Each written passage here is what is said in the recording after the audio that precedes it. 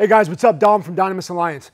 We're going to be looking at an in-depth look at AUFire, how to use it, the details about how to put it on, and a safety brief so you guys can take this thing and use it effectively because it is a new product in the market.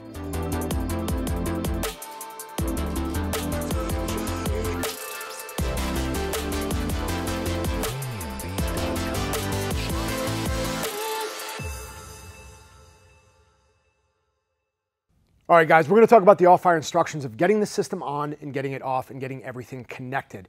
First and foremost, we wanna have an instructor that's trained on the AUFire system leading this event. One of the main things to remember is to make sure that you guys charge this up the night before. That's really important to make sure everything's charged in. You've got your receivers charged and you've got your remote charged to its full capacity the night before.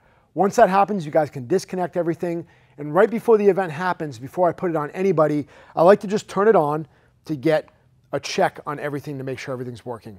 Light comes on, I've got a full charge, and I've got a full charge here. Everything is good to go. So once I know that I've got connectivity, the other thing I like to do before I put it on anybody is actually make sure that I'm on the right channel. Okay, I can see that I'm on channel red, and this one is red as well. Channel one and one. Okay, so you can start thinking about the scenarios that are coming up. If you want to just get everybody outfitted and then make that decision while you guys are running your scenarios, that's fine too. But this just gives the instructor one step ahead of the power curve to make sure that you're pre-thinking about where these are going. Sometimes when you have guys coming in and out of scenarios, it's really important to stay ahead of that. So now that we have everything charged up, we know that everything's working, we're gonna get into actually getting the system on. So I'm gonna go ahead and power down now that I know everything is set up the way I want it. The instructor is going to have control of the remote. Okay, the remote is going to go on the instructor. The entire time the scenarios are going on or you have any type of training, the instructor that is running AUFire is going to maintain control of this because you don't want anybody bumping into this thing or doing anything unnecessary while guys are prepping or getting ready with the system. So this is really important to just keep these things separated and make sure that this has uh, control and it's in a safe place. So that's on an instructor and we're going to put that aside for right now until we dive back into what we're going to do with that. That's easy to put on. Programming that is a separate thing, and we're going to talk about that next. One of the primary things you're going to do is identify the students that you want to outfit with the AUFire system. Right away, you're going to identify the type of clothing they have. Obviously, we want to be able to contact the skin, so shorts and a t-shirt is preferable. If you're just running the upper body, you can run pants or whatever they're wearing in their unit. They can have a duty belt on, they can run their body armor. You can pretty much run any setup you want, just make sure you have access to the forearms and the biceps. That's gonna be your primary setup for the AUFire ACAR kit. Now, once we do this, I'm gonna take this harness and this is just gonna get strapped on. Now, we recommend doing this with two people but you can do it by yourself. And I figure if I showed you guys how to do it by yourself, then it would make sense that if you had a partner help you out, then great, you have that assistance. Once I have this harness on, after I get the harness on, that's gonna be my cue to say, okay, I've gotta prep my arms with the lotion and the skin prep. What I'm gonna do is I'm gonna take this and I'm gonna put a good layer on each arm.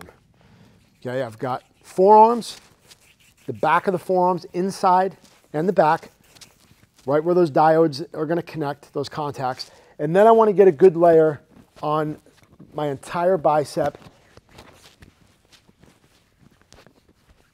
Again, just making sure I've got a good coating. Really putting too much of this stuff on is not a big deal. It's when you put too little on. So it's good to have a couple of these on standby in your ACAR kit and just stock up with them to make sure that you have plenty to access. And if there's multiple people running, you can pass around a couple of bottles. It kind of speeds up the, the donning process. So again, inside the forearm, nice and liberal with the lotion, and then on the bicep. I want good contact with those diodes. It's just gonna give me a better scenario and a better contact with the actual muscle contraction. Okay, once I have that ready to go, uh, one thing that you might want to have on standby is a towel so guys can wipe their hands off if they're running weapons manipulation. Their hands aren't all slippery on the gun. This stuff is not too bad. It's not like baby oil. It does have a little bit more of a grip, so once you dry it off, you should be good to go. Okay, so I'm just going to do a quick wipe. Now the sleeves I'm going to prep which means I'm gonna open them up, I'm gonna open up the Velcro, and then I'm gonna open up the zippers. That's the way we want them before we hand them to anybody so that they're ready to go and they can just slide them on. I'm going to open up both sides of the Velcro. And then I am going to open up the zipper. Okay, I'm going to prep both of them so I can do them at the same time so you guys can see. This side gets prepped. Now, each arm has an indicator on which side it's for. L for left, R for right. Okay. Now, once I have these open and prepped, this is my right sleeve. And L for left, this is my left sleeve. I'm gonna take these, before I even put them on, I'm gonna identify the two contacts for the bicep. Once I have the two contacts for the bicep, I know that this is the direction I wanna put it on. I want the inside of my forearm and my bicep to connect with these four dots here. And there's no zipper on that side, it's all the AUFire material. So I'm gonna grab right where that red mark is and I'm gonna shoot my arm through in one movement, here. All right, once this is pulled all the way up, I wanna make sure I remove any excess material and sleeve material from the AUFire sleeve. Then I'm gonna double check. The contacts are inside of my forearm, the two contacts are inside of my bicep, I'm good. And just for extra safety, I make sure that these two contacts on the outside of my forearm. Once that happens, I can zip up the forearm. We wanna leave the bicep open, and I'll show you why in a second, because we're gonna have to connect the diodes. I'm gonna secure the forearm, at least temporarily. Get these both at least so these aren't hanging out all over the place. Now I'm gonna grab my right sleeve. Same thing, I'm gonna look for the four contacts on the inside. I'm gonna grab right about where the biceps are, everything's undone, the zippers are open, and I'm gonna pull this up in one motion. Here. I'm gonna yank on it until I get a good position, remove any extra sleeve material, and then again, I'm gonna zip up the forearm and leave the bicep open. Okay, I'm gonna look at where the diodes are, and I'm gonna shut this forearm part of my sleeve. Okay, that at least removes that material from hanging around. Now I'm in this position. So what I wanna do is connect the AUFire harness to the actual sleeve. By doing that, I'm gonna grab this cord Okay, this is a flexible cord. Again, you can connect this to a carrier. It does not have to be on the harness. You can remove that battery pack and actually put it right to a carrier if you wanted to as well. This is what I want to connect to the sleeve. Now again, it does help to have a secondary person, but you can do it by yourself. It's important to leave the sleeve open because that's going to allow you to make contact with the first button. Okay, these are just snaps. So once I find that first snap, that's my starting point to be able to connect all the others. And I do it by putting my thumb behind the sleeve. That really helps get a good connection. Once I'm lined up, now I can pretty much just grab and make sure all of the contacts are in place. I heard all six connect and I know I'm good to go. I'm just gonna do a quick test, safety check, and I'm good to go. That's snapped in. Now I can zip the sleeve up. Once the sleeve is zipped, uh, zipped up, I'm gonna reposition the arm and then I'm gonna look at where my sleeve is. Now this is gonna bring everything tightly into place. One last check with the red contacts. I'm gonna go over, I'm gonna grab, and if you've ever put a tourniquet on yourself, you know that this is super easy to do. Not as easy as the tourniquet, but takes a, a couple of reps. But once you guys see this video, you should be able to get it down pretty quick. Again, same thing on the other side, a quick recheck on the diodes, remove any excess sleeve material, then I'm gonna pull this out of the harness, I'm gonna go right to the first button to get me started, put my finger behind the actual sleeve material, and then I'm going to button this first one in. Once that's snapped, I can kind of reposition it if I need to, but then finding the rest are pretty easy after that. I can just go down and just snap these in. Two, three, four, five, and six. Now they're all in. I'm confident that they all snapped. Reposition the sleeve, zipper it up, and again, I'm gonna put this tension over the diode and over the contact that I just snapped in. I wanna get a good bite on that and I feel good. You want good contact. So if you don't feel like you have enough contact, you can go back and readjust these. I can grab the forearms, kind of pull a little bit more. I can grab this, get some more tension out of it, connected to that part of the arm. If I feel like the bicep needs a little bit more tension, these are just the fine tuning adjustments that'll really make the difference. Not only for just streamlining so that you're not getting caught up on anything, but to make sure that you got good contact with the actual sleeves. Once that's done, I leave this center strap for last to make sure that I, I know that I did everything that I was supposed to. Okay, the instructors can do that as well. I get good contact, I tighten this, this chest strap up and I'm good to go. I am now ready for somebody to power the pack on and run a scenario. I can pick up a firearm, I can go through a combative scenario, a medical scenario, whatever I'm getting ready to do, I am now prepped.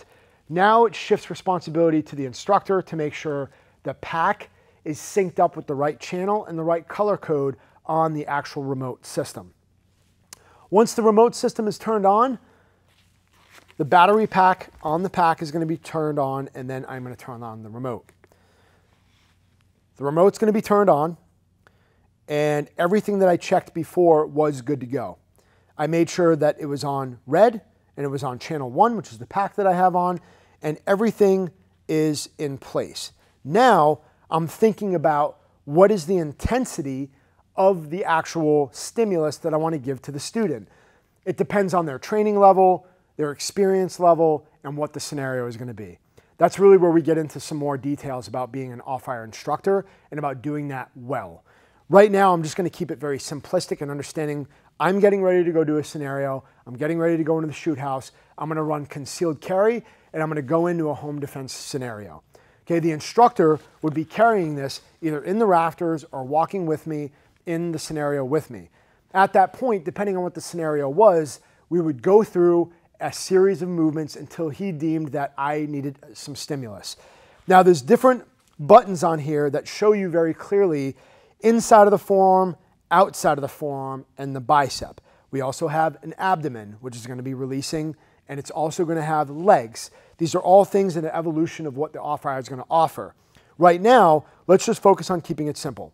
I'm just going to hit on an intensity one, the inside of my forearm. Okay, I'm going to ramp up the intensity to intensity two. I can clearly see inside of the left forearm, depending on the scenario. And then that activates ah, that activates the inside of my forearm. I also have an outside of the forearm that pulls my hand away. Now again, it's important for the AUFire instructor to understand what he's hitting and why. You really need to visualize what you're doing in each scenario to make sure that actually coincides with the scenario that you're running. The worst thing you can do is create bad reps. Now, don't get me wrong, you're simulating a gunshot wound, so you can get hit anywhere but you can actually ramp it up if you know what you're doing, how to coincide it with a left-handed shooter, right-handed shooter, depending on what you want them to work through, that's where the training value can really, really increase. So know your system, get familiar with this before you go running with it in the shoot house. Make sure you know how you're setting up your students and that you pay attention to using this in a precision manner. We treat this with a lot of respect. This is not a toy. This is not something to play around with. We want to make sure that guys are getting great reps in this training environment and they're doing the right thing. This system is going to change lives. It's going to save lives. It's going to allow guys to be more effective and know what to expect on the battlefield. Once you go through your scenario training and once you get done, then it's time to down jock. It's time to take everything off at that point. The first thing I like to do is just make sure everything's shut off so that nobody's messing around with the remote or anything's going on. You know, sometimes the instructors are in one area and the students are in another area. It's really important that somebody's taking control of that and being conscious of the fact that the systems need to be off and now you're shifting into an admin environment. So scenario gets called, index gets called. I'm gonna turn and power down the actual remote and then I'm gonna go from there. Maybe you have somebody help down, uh, power down your battery pack and then you go from there. We're gonna kind of go in reverse order. The first thing I'm gonna do is remove the chest strap immediately. Then I need to loosen the tension on the connectors to the sleeves. So I'm gonna release the bicep. Now, it's important I do this first because sometimes you have other people getting ready to run and they're waiting to get the system back. So if they're waiting for a harness, they can start pre-prepping the harness as you're ready or the sleeves or vice versa. It's just important to make sure that you have a process and a system that works for you and whoever else is training with you. Now, here's the biggest detail about taking this thing off. These snaps that are connecting the connectors to the sleeve can be a weak point on this sleeve system. I recommend that you have the ability to hold down the material of the sleeve and very gently unsnap each one at a time. Try not to rip this off Hold the material of the sleeve as you release each snap. That's going to help make sure this maintains longevity and that your system works the way you, are supposed to when you need it. Okay, that's going to release this side. Now I'm going to do the same thing. I'm to be very gentle on that first snap to make sure I push down the material one snap at a time. And then I'm going to release and unzip. Now I'm to do my forearms. Unzip. That's the left side. And unzip, everything is unzipped. Release, set it up for the next guy, and then I am out of the harness. And again, at this point, I would hand this over to somebody else to be able to get that on, and they would go through the same process of putting it on. Harness, the sleeves, and then making sure you get everything connected and do your final adjustments. Again, having an AUFire instructor run this evolution is really important because this does take experience and it should be thought through very, very well before you guys go running scenarios. That's how to put it on and to take it off. It's very, very, very simplistic. This can be done in a matter of minutes to have somebody up in the house. We've ran 20 or 30 guys through a house in any given moment and we're rotating guys through every couple of minutes. It's a very seamless process and it does help if you have an assistant helping you guys put it on and take it off. Again, make sure you guys are paying attention to these connector points so that you're giving them good, solid contact on all six buttons. And then when you pull it off, make sure if you can use two hands to peel it away right at the snap and you're not trying to yank on stuff. Um, that way the material lasts a long time and you guys have a great product. That's it for this AUFire instructional. Hope you guys got a lot out of it. If you have any questions, don't be afraid to email us. You can email us or send us a message through the website and we'll be happy to get back to you guys. For pricing and offering, you can do the same thing. Email us. We can put custom kits together or the ACAR kit that's out there right now, and we'll be happy to talk to you guys and customize a package for you. Crush everything, and we'll see you guys in the next AUFire video.